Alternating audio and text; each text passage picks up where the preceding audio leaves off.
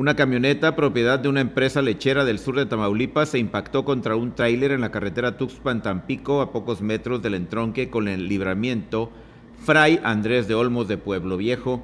Los hechos ocurrieron al mediodía del viernes cuando la pesada unidad intentó dar vuelta en U de forma temeraria, a pesar de que el pavimento se encontraba húmedo por la lluvia, ocasionando que el conductor de la camioneta perdiera el control y se impactara con la parte trasera del tráiler. La camioneta tuvo reporte de pérdida total y el chofer sufrió algunos golpes por lo que fue atendido en el lugar en una ambulancia de protección civil.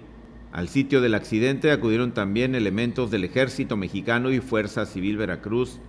La titular de la dependencia, Blanca Eugenia Ortiz Torres, resaltó la necesidad de manejar con precaución en el pavimento mojado y respetar el sentido de la vialidad. Pues fue en el momento de la lluvia, ¿verdad? Este, desafortunadamente, pues los trailers se atraviesan, pues como son unidades grandes, pues ellos se atraviesan, ¿verdad?